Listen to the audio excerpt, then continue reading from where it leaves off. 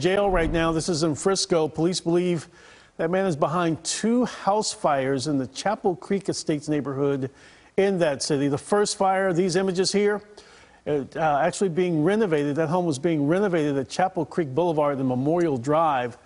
And then just a few miles down the road, this is near Lebanon and Legacy, a second home fire there. It was also being renovated, that location, and officers say Jonathan Webb was seen running from that second fire. He's now in custody. He's charged with public intoxication and deadly conduct. We're told a camera caught Mr. Webb on scene of that first fire. I mean, why would someone want to do that? There was a lot of uh, fire in a very short period of time. It's uh, sad, sad for the people that uh, had their homes damaged.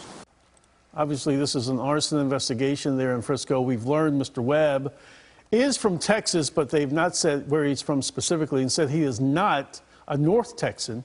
Police are not sure if he's somehow connected to the owners of those homes. He is, again, in custody in Frisco at the city jail.